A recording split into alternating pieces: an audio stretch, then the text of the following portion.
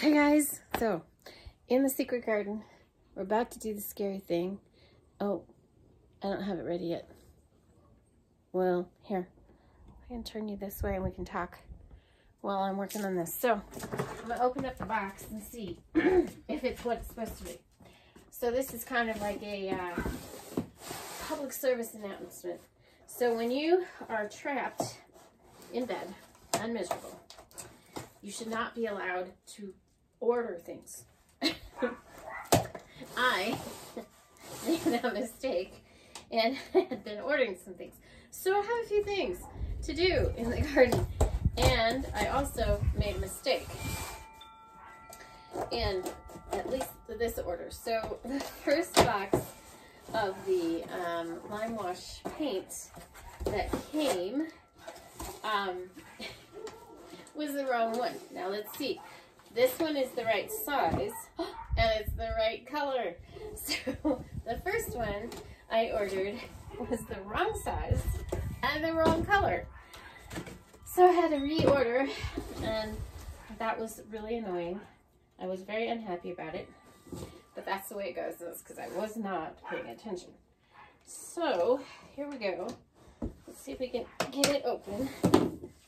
It's really interesting. So you have to dilute it, but uh, it's already pre-mixed, sort of, which reduces the problem that I felt I would have by mixing lime myself. Because when you put water into lime, then it is uh, toxic to breathe. So, whoop, that's what I was worried about.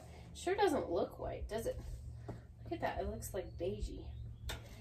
All right, so what you have to do is dump this in a bucket and you do um, dilute it with, I guess it's half and half, right? So, oh, you know, I forgot the stick. Okay, so let's um, do some of it. I don't know, I'm having trouble, aren't I? Okay, here we go. It's about halfway full. So we're going to add water to it just like this, I think.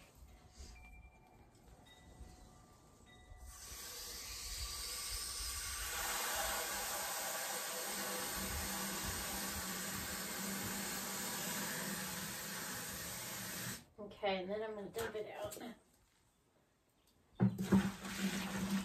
That might be my first mistake. Let's see. Oops.